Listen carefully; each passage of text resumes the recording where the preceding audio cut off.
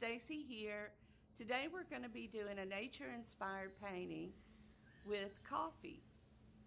Coffee acts a lot like watercolor paint, so you'll be hearing me use some of the same words that I would be using if we were talking about watercolor painting, like a wet on wet technique, which is when you have wet paint or coffee on your paper and then you add more wet paint on top of it and it just kind of flows together.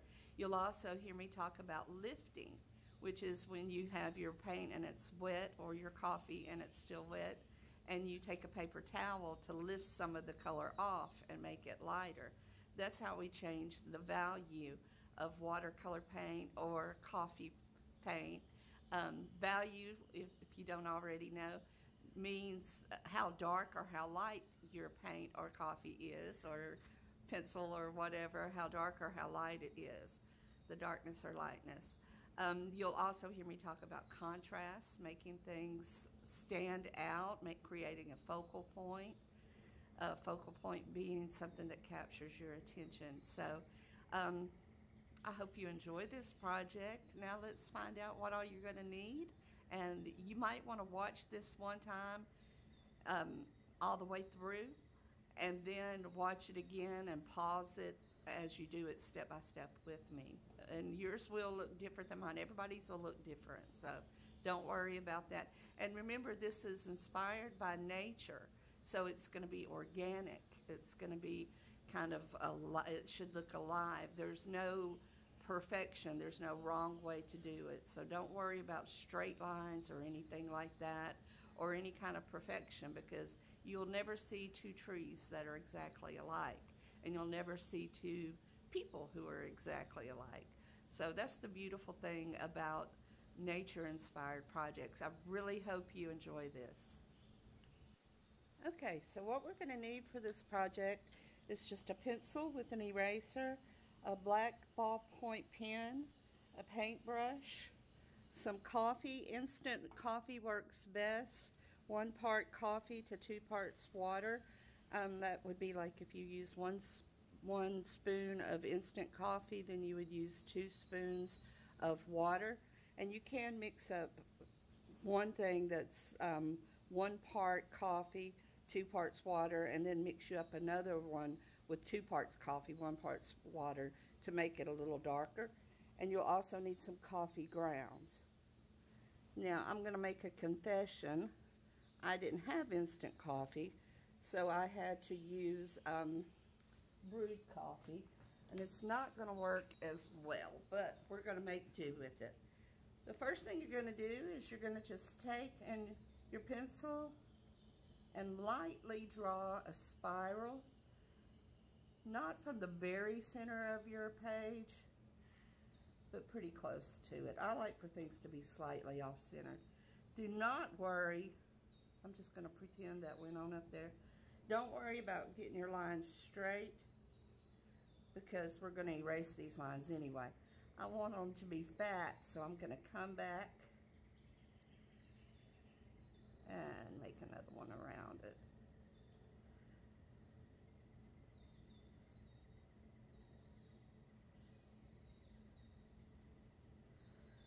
Now, see how softly I drew that.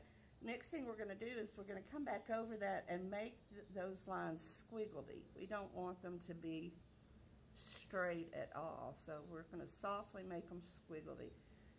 And don't worry about the fact that you can still see those other lines underneath it because we're going to erase them anyway.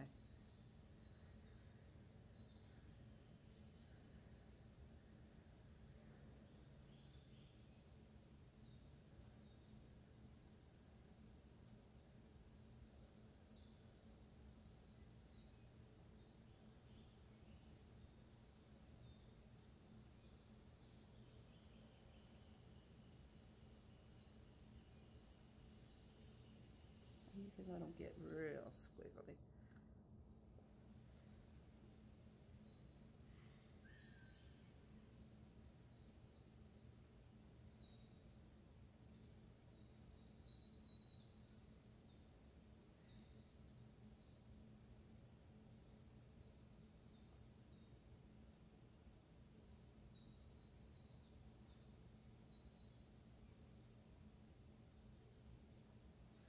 After we've done that, let's look at a few pieces of bark. Um, this bark, we're just looking at it for inspiration to see the shapes on the inside of it. They have some coming across. They have some lines going up and down. This is our inspiration for this piece. Notice the shapes inside the bark. You could look back at this, you could find some bark outside from a tree, or you could even look up a picture online. And um, what we're gonna do is we're gonna draw some shapes inspired by that inside of our um, spiral. Notice as you get farther along, your shapes should get a little larger, just like the spiral does.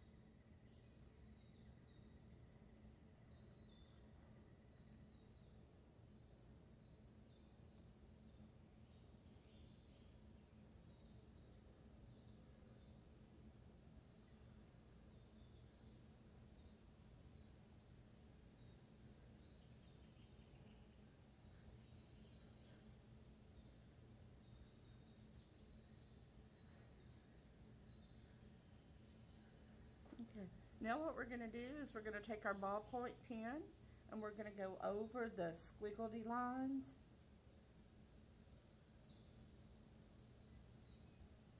And you can press down hard now.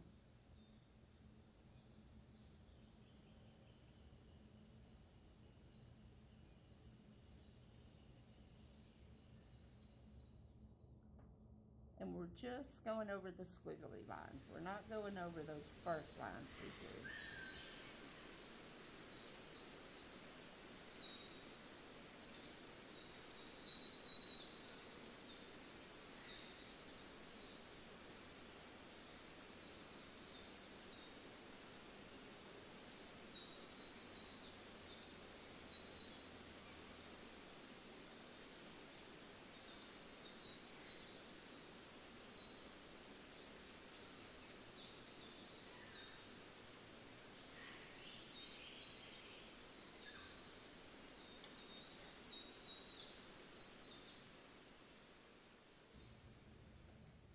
Okay, after you do that, you're going to come back and you're going to make another line parallel to those lines.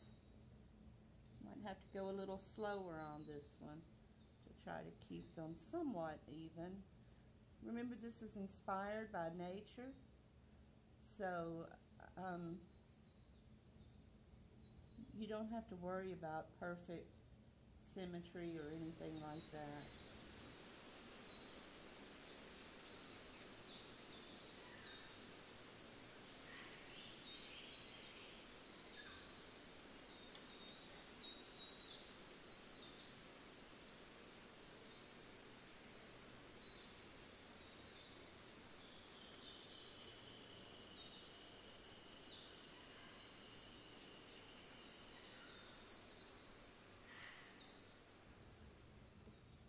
Okay, once you finish doing the outside lines parallel, you're also going to come in on these lines and uh, do the same thing.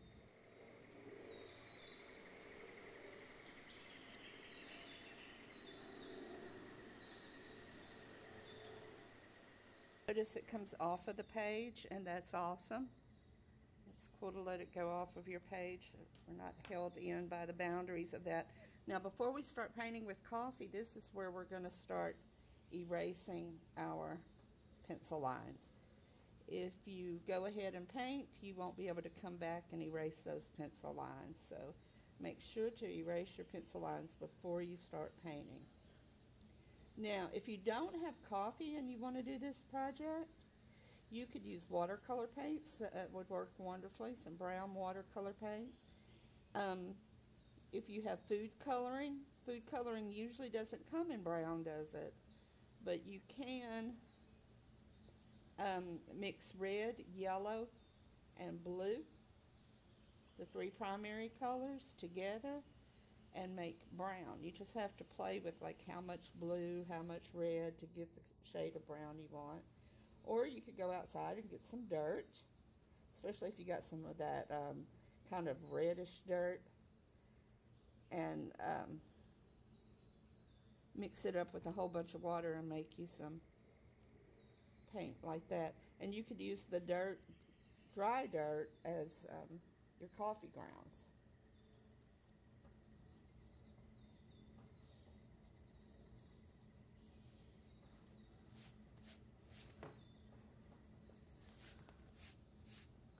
All right. Let me check this again.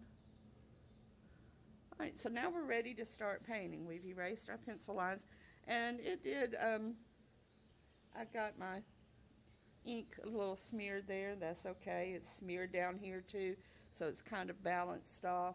Anytime something like that happens, as long as it's repeated, no one will ever know you didn't mean for it to happen. All right. Now we're going to start here in the middle of our spiral with our coffee. And we're going to just do like one section at a time. We're not going to paint the uh, parallel lines. We're going to try to leave those white. We're just painting inside of them.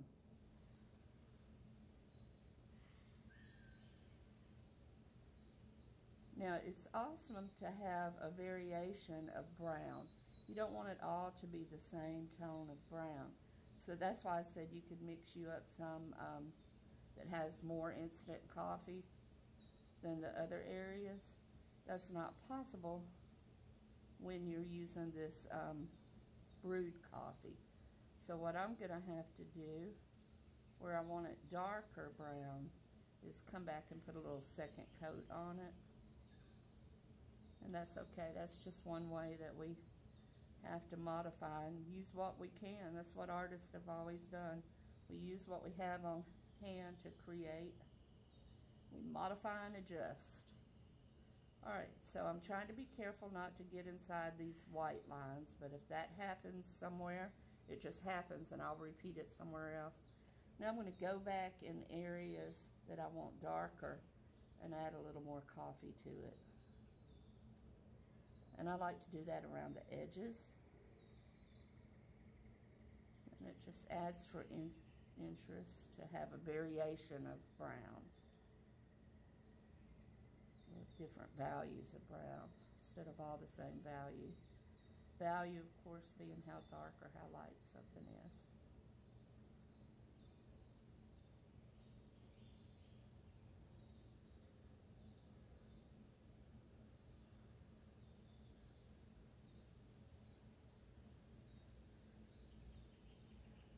Love the way um, it just kind of flows together.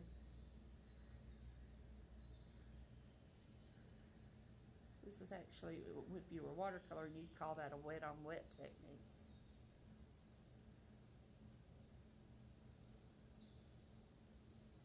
All right, so I have some areas that are darker brown, some areas that are lighter brown. So what would you do if you wanted it lighter brown? You could come back in some places with a little paper towel while it's still wet and lift some of that off to make it lighter in places, maybe around the center. Or you could add more water to it. But the more water you add, honestly, the uh, more wrinkled your page is going to be and the weaker your paper will be until it dries. While it's still wet, I'm going to go ahead and sprinkle a little bit of coffee ground on it. This coffee, as it dries, will um, adhere to the paper. All right, so we're just going to continue that process one section at a time until we finish the entire spiral.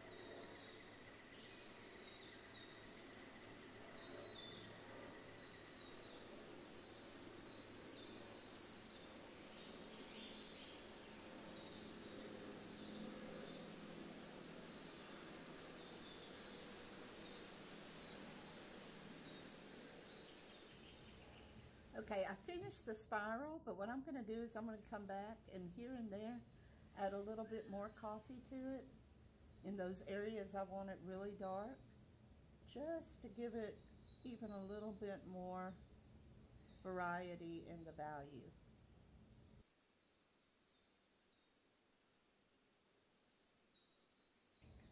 Okay, when we finish with this and you're happy with it, let's try to blow off some of the excess um, coffee grounds from the background.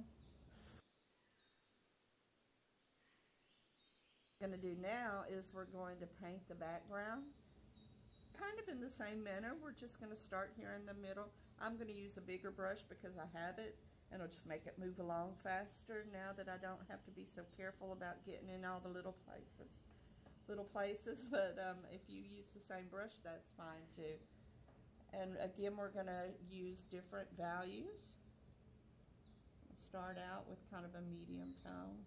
And we're, if you, I don't know if you noticed, but if you accidentally get some inside your little white lines, you could always lift it off if you do it before it dries.